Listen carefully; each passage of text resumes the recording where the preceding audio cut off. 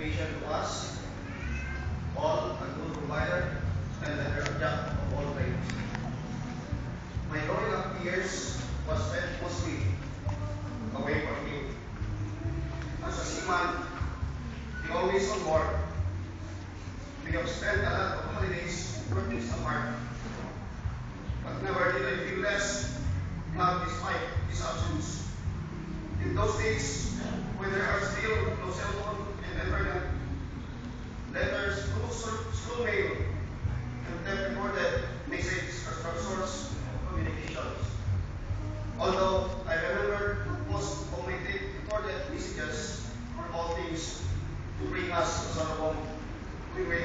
Every time he is at home, it's Christmas for us. He always tries his best to provide us with all the latest toys.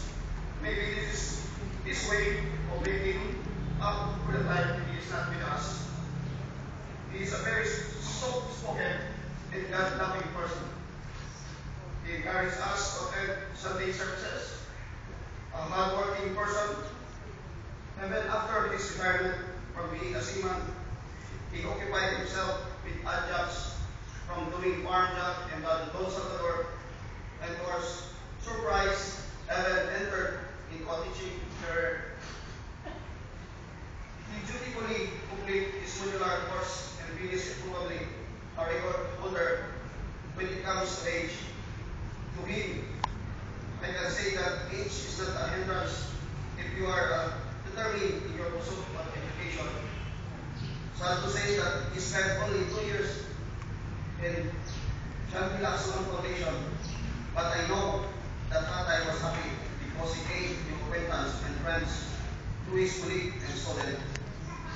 I admire my father. Imagine at 62, he still took units to change his marine vocational course Bachelor of Degree.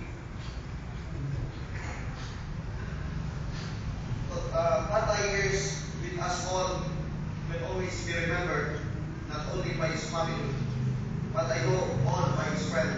I hope that his children will live up his name. We love you, Tatay, every week again.